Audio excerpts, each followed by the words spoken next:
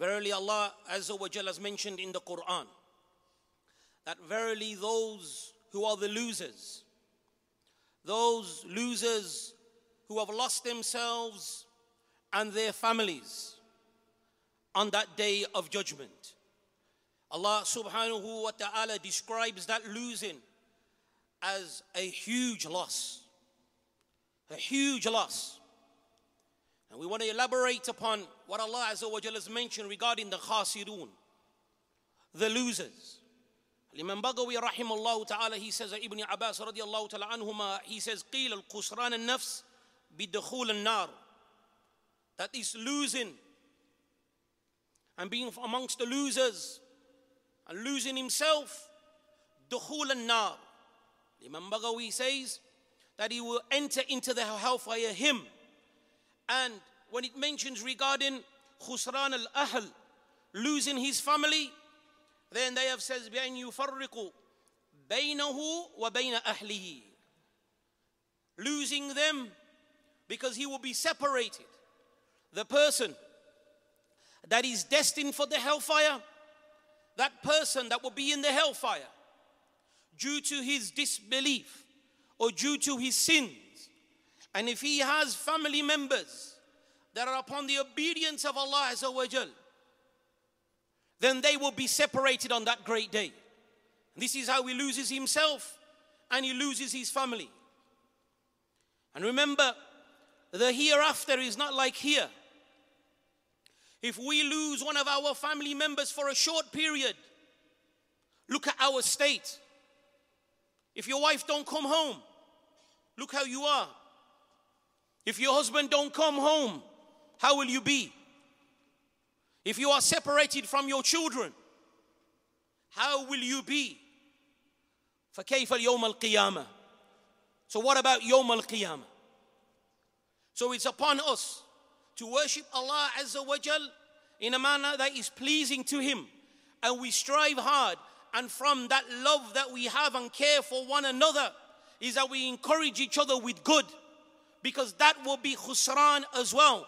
The separating of families on that day. So the ulama they say, كل خسارة مذكورة في القرآن فهي خسارة الدين. All of this khasara, losing, what Allah mentions in the Quran, that they have lost, they are amongst the losers. It refers to their deen. It refers to their religion. والخاسرون في القرآن هم من خسروا آخرتهم that the ones that Allah has mentioned amongst the losers they are the ones that have lost their akhirah that is our ultimate goal if that has gone and we are not successful with the akhirah then we are doomed because of this our father our mother were the first ones to recognize not to be amongst the losers.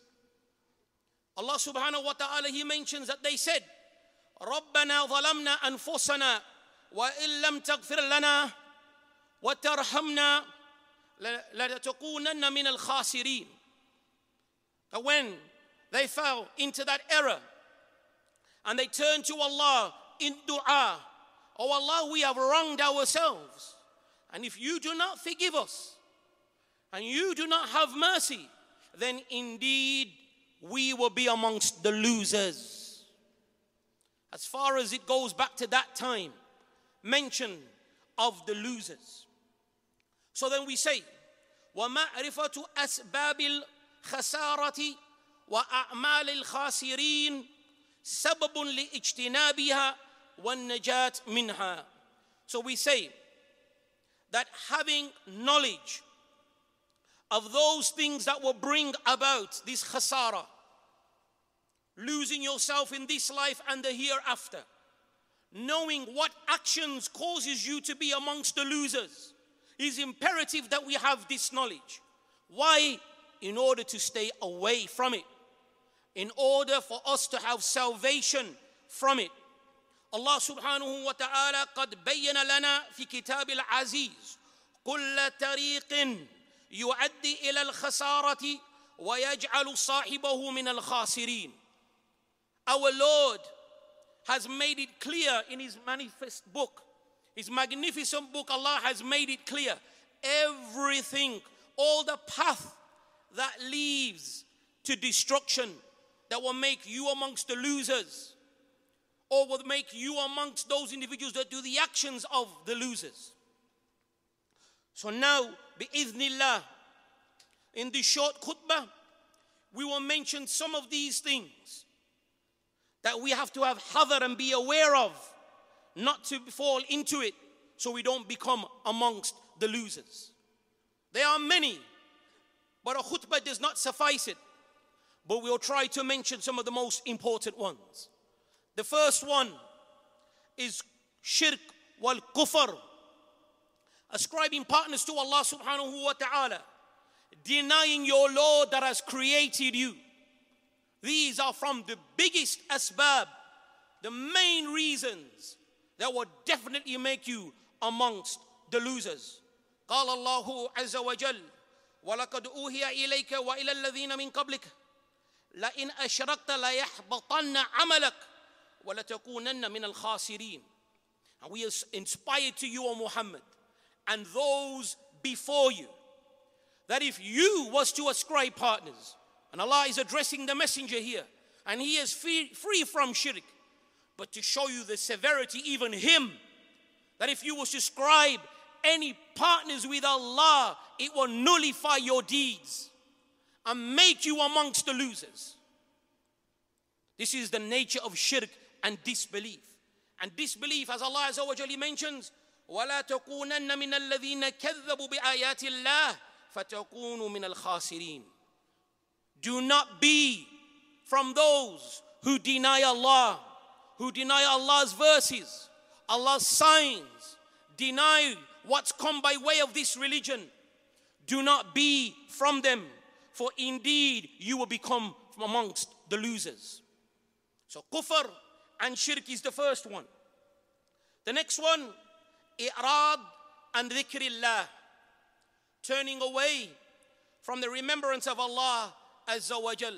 قال الله عز وجل استحوذ عليهم الشيطان فأنساهم ذكر الله that the shaitan has overpowered them that shaitan and his army from amongst jinn and mankind and any shaitan is the one that calls you away from the remembrance of Allah that is a shaitan the one that makes you fall into that which Allah subhanahu wa ta'ala is not pleased with. That is a shaitan.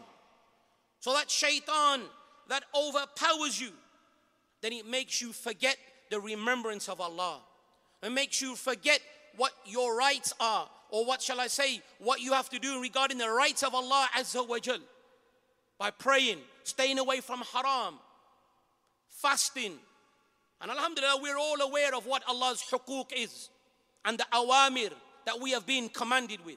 But this shaitan, he comes along with that lisan, that sweet tongue that makes that evil see, seem nice and good, and you're easily falling into it.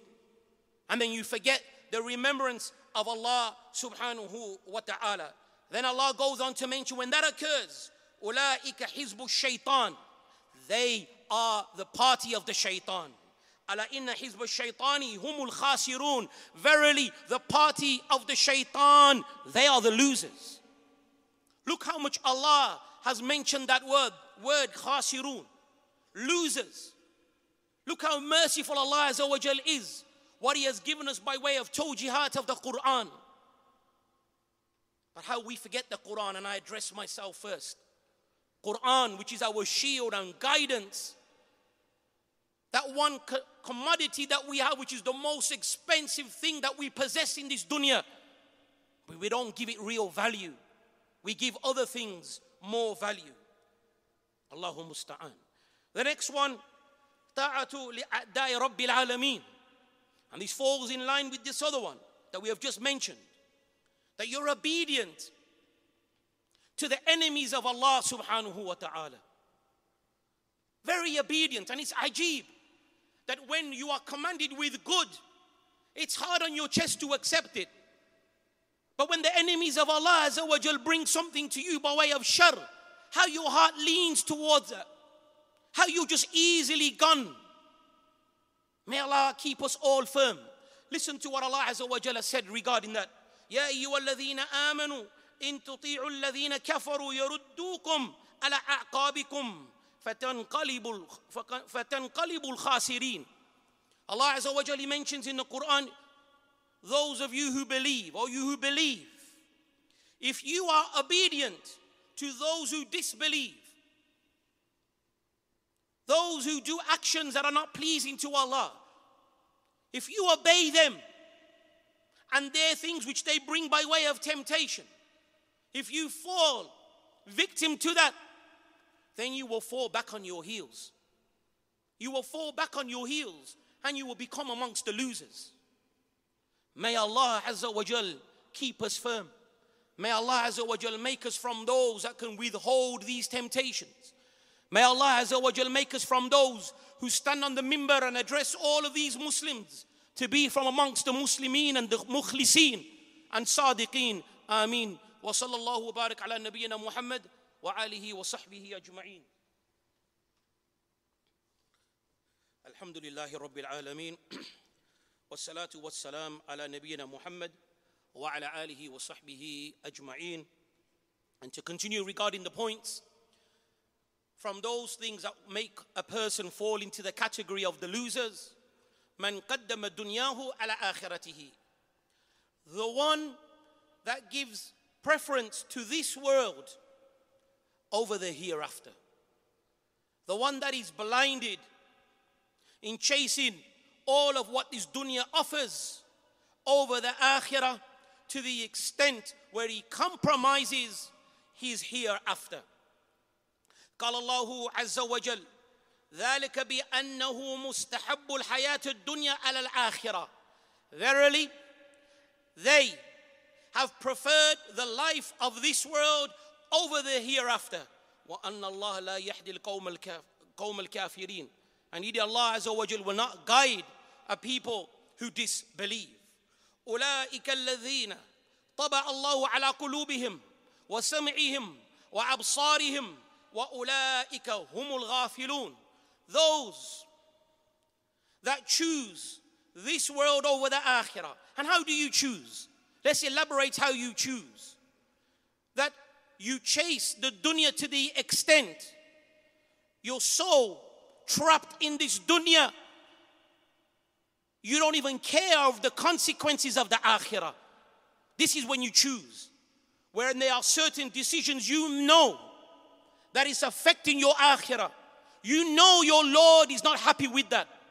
You know that it is not right, but you do it because you want to be comfortable in this life or you want to enjoy in this life.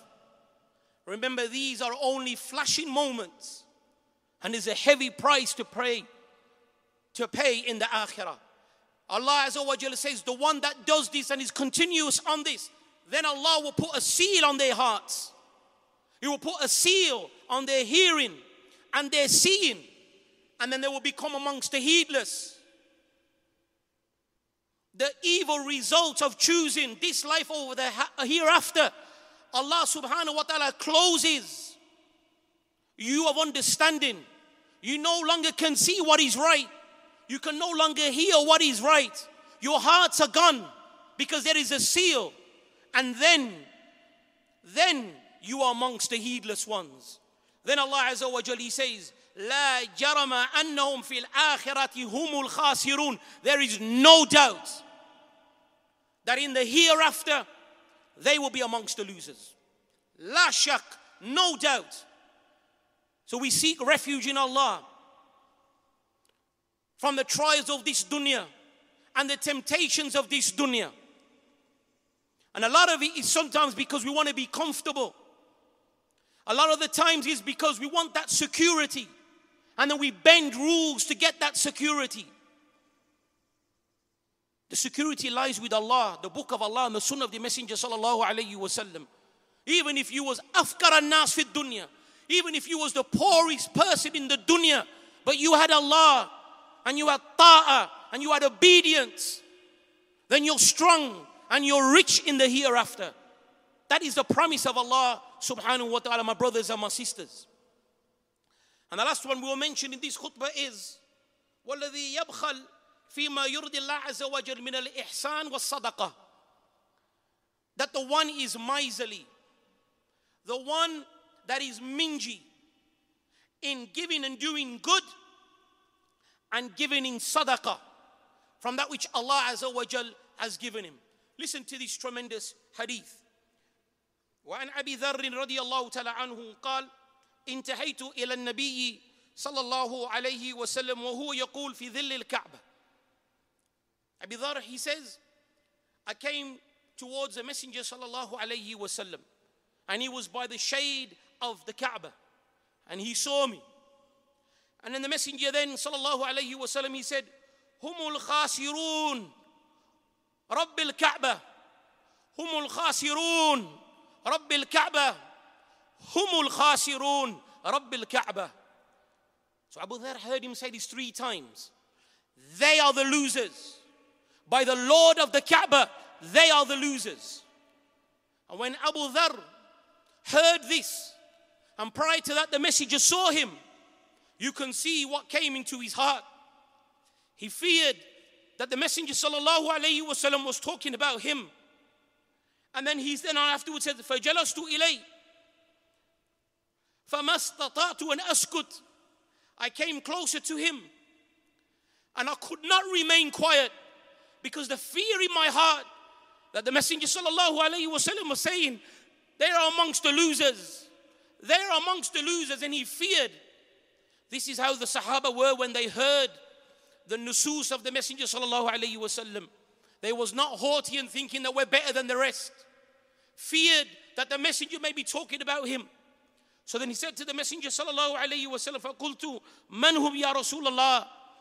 So then I said to the Messenger, fearing that fear in my heart, O Messenger of Allah, who are these losers? Who are they? And then the Messenger sallallahu alayhi wasallam said, الأكثرون أموالا إلا من قال هكذا وهكذا وهكذا رواه البخاري. The Messenger sallallahu alayhi wasallam said, they are the wealthy ones. They are the wealthy ones. Bima'na, hakada, hakada explains what it meant. Except for those that give. And he made an ishara to the right, to the front, and to the left, and to the back. Except for those, meaning those that Allah has blessed them with wealth, but they aid the others. They give in sadaqah. Except for them. Other than that, they are the wrong ones. So what Allah has given us, whether it be plentiful, whether it's medium or very little, we need to purify that wealth. We need to give according to our ability. Remember, wealth is a blessing, but wealth is also a belia, something that can be against you if you don't utilize it correctly. So I say on the end of that, an advice to myself فاحذر فاحذر يا عبد الله أشد الحذر من صفات الخاسرين. Be aware be aware. Ya Aba Idrees first and foremost and then my brothers and my sisters be aware from the traits of those who are losers. Be aware not to fall into the traits of those who are the losers. And remember the nasiyah of our Lord and he has mentioned who are the losers and he made istithna for a few and it is a verse that we all know. It is a chapter that we have all memorized. وَالْعَصْرِ إِنَّ الْإِنسَانَ لَفِي خُسْرٍ إلا الذين آمنوا وعملوا الصالحات وتواصوا بالحق وتواصوا بالصبر Allah swore by time and Allah Azza wa Jalla said mankind are in a state of loss everyone except for those who believe and do righteous deeds and a part of that belief and righteous deeds is that when ilm reaches us when we learn something about what Allah has told us in the Quran how we should be and what we should stay away from a part of that belief is is believing and then acting upon it and enjoining in good and inviting one another with patience. So I say, Allahumma ij'alna min al-faizin wa la taj'alna min al-khasirin. Allahumma ij'alna min al-faizin wa la taj'alna min al-khasirin. Allahumma ij'alna min al-faizin ولا تجعلنا من الخاسرين. Oh Allah wa Jal make us from the successful ones. And do not make us from those who are the losers. آمين أقول قولي هذا أستغفر الله لي ولكم فاستغفروه. إنه هو الغفور الرحيم. أقيموا الصلاة يرحمكم الله.